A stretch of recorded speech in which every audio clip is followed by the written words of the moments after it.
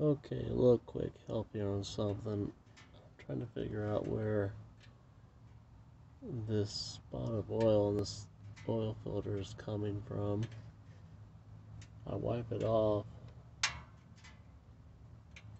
but I do not know exactly where it comes from. I don't see no trail.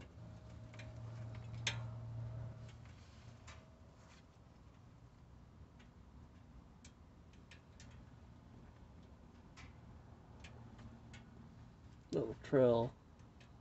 Sorry. Of exactly where it would be coming from. The filter is tight, so I do not know. Anybody has an idea, please let me know.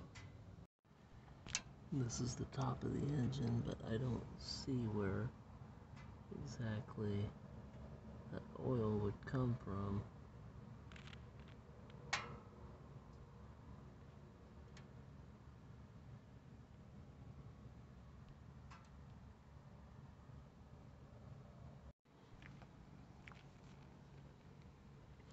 The only thing that I have on this is a little bit of oil seepage on the in the bolts of the valve cover.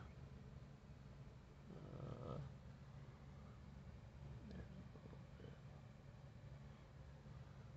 I don't think that would run to the filter because this is on the passenger side and the filter is on the driver's side.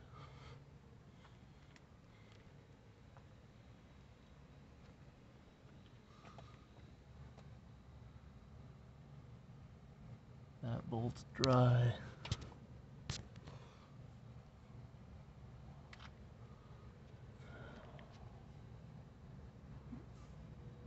That one in there is dry.